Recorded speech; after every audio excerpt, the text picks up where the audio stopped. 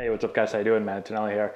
Today, answering questions for you guys on uh, what are the housing arrangements like in the minor leagues and in the major leagues. So, um, we're going to go through all the different teams that I played for, from the lowest part of the minor leagues all the way up to the major leagues. This is for for home games. So we already talked about on the road how you're usually going to stay in hotels, um, but at home, depending on which organization you're with, which league you're in, um, it always changes what you're doing at home. So we'll start when I first got drafted. Got sent to the Eugene Emeralds, which was uh, short season A ball right out of the draft. Um, and how they did it there was for home games, we stayed in a hotel that was basically downtown Eugene, right? So um, basically, I think I paid like, I think it was like six, seven dollars a day, something like that, uh, maybe ten dollars a day. Um, would just go to the team, and the team basically took care of the hotel for us. Um, interesting thing when I got there, again, I got drafted. I had no idea how it worked, and so I just assumed that I got my own hotel room with like know, I envisioned walking in and having like this huge suite and like this, you know, kitchen and big bathroom and all this stuff. And I remember I got my key from the hotel lobby. I walked upstairs, put my key in, I opened the door, and it was this little tiny room. And there was a teammate of mine sitting in there already. So I thought I had my own room, did not have my own room. And we had a really small hotel room. Um, first roommate ever was Dave Freese, who a lot of you guys probably know won a World Series with the Cardinals, was a World Series MVP, I believe. Um, now he plays for the Pirates. So he was my first roommate. Opened the door, walked in, said, "Hey, how you doing? Nice to meet you." And um, that was it. So that was my first experience in pro ball. Uh, moved up to to low A ball um, in Fort Wayne, Indiana, for the Fort Wayne Wizards. Now they're called the Tin Caps. Um, when I got there basically every time you get moved up to a team, um, if you get called up during the season, the team will put you in like a hotel for like three, four, five days to get you situated. So move into a quick hotel, and then after that, you got to find a place to stay. So in Fort Wayne, all the players stayed in apartments. So I had to find an apartment quick. I actually ended up jumping in with a couple of my other teammates that were there. Um, I was only in Fort Wayne for like two weeks, so I honestly don't even remember who I roomed with. I think I think I was in there with Wade LeBlanc and Kyle Blanks, but I honestly can't really remember. It was like really short part of my minor league career. Um, what I do remember is we stayed on a, the apartments were kind of on a golf course. And so I'm a horrible golfer. I remember golfing. We got free golfing um, because we lived there. And I can remember the first ball I teed off. I was thinking like, man, these apartments are really close to the fairway here. So I teed off, sliced the crap out of a ball and just drilled this person's apartment like right it was like literally right there the ball went straight to the right and just smashed off it and i took off and i never finished i, I just took one shot and that was the last time i played on that course um, so from there uh, next season played in lake elsinore california in high a in the california league the different thing about that league or at least that team is that we stayed with host families so how a host family works. Basically, you just get put right in with a family. They, they, um, you know, families volunteer to house players, and so you know, I showed up, and they just said, I don't know how they decide, but they basically said, "Here's your family," and you know, it's a little bit different and awkward. You meet them, and they say, "Hey, what's up? You're living with us for the next six months." Um, so I got really lucky. Got like the greatest family of all time still keep in contact with them. I lived there in 2007, so 10 years ago, and um, you know, still keep in contact. They were awesome. I've been very fortunate in my life with host families um, that I've never had a bad one. So, um, so stay with them. Basically, just they got an extra room in the house, and you know, you jump in. Sometimes you get multiple players to a to a host family. I was the only one, so it was just me. Um, and so, yeah, that was probably one of my favorite experiences out of all my housing arrangements was living with them. Um, got called up that year to Double A. Got to stay in a, again, they put us in a hotel when we first got called up. It was like the Motel 6. Only thing I remember, oh, sorry. Team was in San Antonio, uh, San Antonio Missions, Double A in the Texas League. Put us in a hotel. I think it was a Motel 6. One of the main things I remember is, uh, so it was Chad Huffman and I were sharing a hotel room. Um, Chad now plays for the St. Louis Cardinals, and all I remember is crickets were jumping up through the sink and through the uh, tub all night and like just hopping all over the place in our hotel room. So that's one of my main memories from there. I stayed there for like three, four nights, and then Chad and I got a, a, a we found an apartment. So we jumped in this nice apartment, stayed there. We're only up in San Antonio. I was there for about two months, I think. So we stayed in a hotel, or excuse me, not a hotel, an apartment for those two months together. Um, next year was it's kind of crazy thinking back now to all the places I stayed. Next year, got called up to AAA in Portland, Oregon, in the uh, Pacific Coast League. Um, first year, I stayed in a, an apartment with um, Wade LeBlanc. So me and him split an apartment, two bedroom. Um, interesting thing about that, just thinking back real quick, we had no car, so neither of us brought a car. So you would take like this I don't know what it's like a train kind of thing to and from the stadium. If you're from the Portland area, I bet you know the name. Well, I'm sure you know the name. You can leave in the comment section. I can't remember what it's called. Um, or we'd have like a buddy pick us up and drive us to the stadium. So a lot of walking. We are about 10, 15 minutes outside the city. So we're in like a little suburb area. Um, my next year in Portland, um, well, I guess I should go back. Got called up to the major leagues that year. When I went to the major leagues, first got in, and they again they just put you in a hotel. Um, I ended up liking the hotel. It was right next to the stadium. I can't remember if it was a Marriott or what it was, but it was something. It was like literally you come out of the hotel and the in Petco Park is like right there.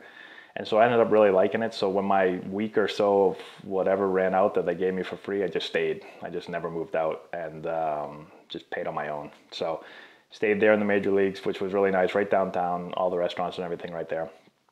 Um, next year I went, they sent me back to Portland.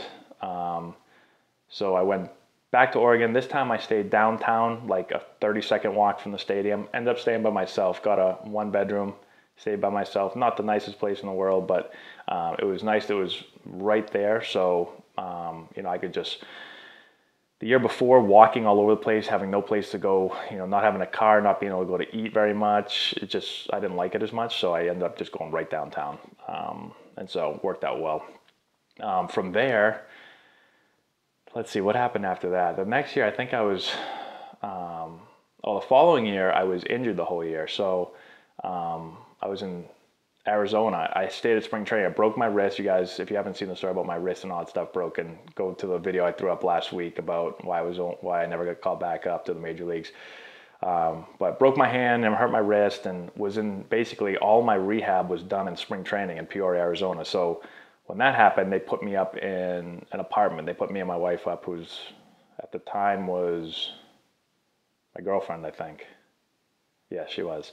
Um, so we stayed in an apartment basically right across the street from the stadium, and it was a really really nice apartment. I was in I was in the 40 man at that time. I was actually on the 25 man at that time, and then when you got injured, they moved me to um, I don't even know how a 60 day DL I think I was on or something like that. And so basically, I was considered like I was up in the major leagues, but I was injured the whole time. So you know, they put me in a really, really nice apartment, which was which was awesome. Um, and unfortunately, I stayed there the whole summer because I could never get healthy. I just kept getting surgeries. So uh, the following year, I ended up um, they ended up uh, non-tendering me, which means I basically became a free agent, and I ended up signing with the Nationals. They sent me to play in AAA in Syracuse, New York, for the Syracuse Chiefs. And so when I went there again, they put me in a hotel.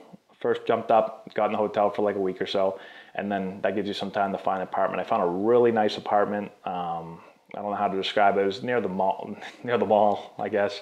Um, and so it was like an industrial type of. I don't know. It was a really nice apartment that I got to stay in that whole entire summer. Was with them for the whole for the whole year. Um, next year, played for the Baltimore Orioles. In uh, I was sent to AAA again. Was in Norfolk, Virginia, and so I stayed right downtown Norfolk in an, another really really nice place. Um, was only there for like a month and a half, two months because I got sent over to the New York Yankees. They were playing. This is kind of crazy. Um, so usually in Scranton, Wilkes-Barre, that's usually where their home field is. But we were doing renovations on the stadium, so that season we were actually playing in Rochester, New York, at um, the Red Wing Stadium, and so we were splitting it with them, and so it was really strange. We really didn't have a home stadium, and so I most of the players just stayed in the team hotel. There was a hotel right there, and we just stayed there. I just basically stayed there for the rest of the summer. My car was like my closet. My car was just full of clothes. I didn't even unpack everything because there wasn't a lot of room in the hotel room. And so, you know, I was just basically in hotels the whole summer, whether it was at home or on the road. So a really weird summer, um, being traded and, and, all that stuff. Um, and then my last year, the, the next year, 2013, I was signed by the Cleveland Indians. They sent me to AAA again. And so that was in Columbus, Ohio, uh, in the International League. And so there, because if you guys again go back and watch my other video, I talked about being on the Phantom DL. I kind of had a feeling that I wasn't going to be there for a long time. I just it, I just had a feeling I was going to get released or traded at some point, and so I never even got an apartment. I just again, there's a team hotel typically. Um, I talked about when you get put up for like those first that first week or so. I did the same thing again there, where after the week I just decided to stay there. I didn't even go look for an apartment because I didn't want to get an apartment you know, get signed like a six month lease and then all of a sudden after like a month get released, which is basically almost what happened, and then be stuck with paying for the next five months. Um, you know, interesting stuff you probably don't think about like as a, um, if you're not a baseball player, you don't probably think that we have to figure this stuff out, but it's just like you went to rent an apartment anywhere. Like you're on your own, you do everything your own. It's not like the team is going to like set you up with all this stuff.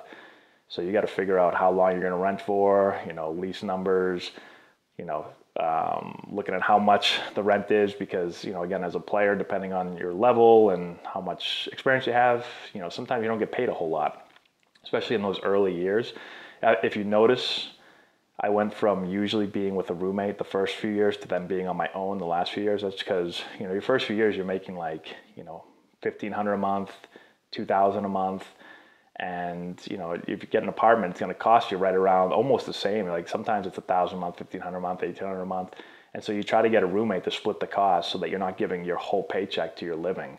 Um, and then once i got older and i got called up and then i was on the 40 man and then you start making more money at that point i could move into better places and i ended up moving kind of in on my own um, and so just kind of how it goes so yeah, I got released that last uh, season in AAA and uh, moved back home. And now I live in a house because there's no more playing. So um, hopefully that kind of helps you guys with your questions. I've gotten a ton of questions on where do you live during the season. So um, I think that's the way, like I said, as you can kind of see too, every team's different. And so it changes from year to year, from organization to organization, from level to level everybody's different. So you're either going to be in a hotel usually, you're going to be with a host family, you're going to be in an apartment. And the only guys that really get houses are guys that are in the major leagues that have kind of settled into their team. They've signed long-term contracts and you know they know they're going to be there for a while. Those are the guys that usually get houses, but everyone else usually not. So um, let me know if you guys have any more questions leave in the comment section below. Been trying to answer as many as I can for you guys. Um, please subscribe to the channel if you've not done so already. Give this video a thumbs up. I'd really appreciate that. Share with all your friends. Check out our Instagram page, Antonelli Baseball, Twitter feed, Matt Antonelli9. Check out the description box below where I put a bunch of links to books and uh, training tools that we use with all of our guys that I think you guys will, will like. Um, check out our website, AntonelliBaseball.com. It is still being built. Uh, we just moved it over to a new site, so it may not be up just yet, but it should be soon. And that's all I got. Thanks, guys. Appreciate you watching, and we'll talk to you later.